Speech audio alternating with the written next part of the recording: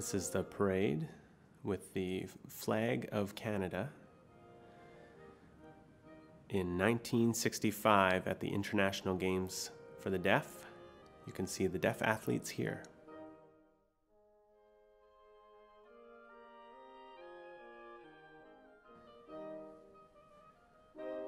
As deaf people, we must be strong to be recognized across the nation of Canada. So, how do we propose to do this? Everybody here, each one of you, must tell your friends, and you must tell your relatives and your neighbors what deaf people are doing in Canada.